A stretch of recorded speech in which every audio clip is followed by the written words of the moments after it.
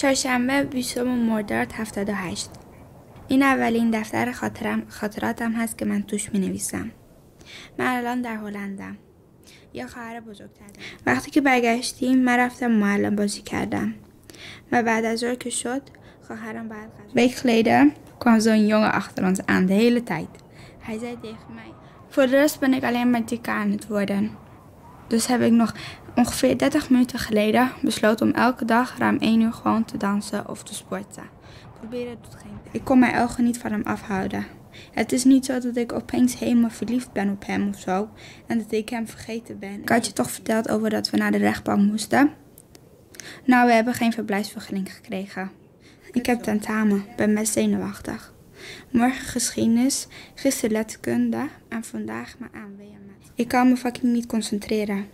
Eerst gisteren werd ik echt gek. Ik begon te huilen. Ik weet dan echt niet wat ik moet doen. Het stond ook in mijn horoscoop. We moeten terug. Uit het huis aan Nederland. Misschien klinkt het stom, maar denken dat God mij aan het straffen is voor mijn acties, voordat ik zo bitchig doe op school, voordat ik zo gemeen doe. Doet God nu precies hetzelfde bij mij? Of is dat een manier van Hem om te wijzen dat Hij bestaat?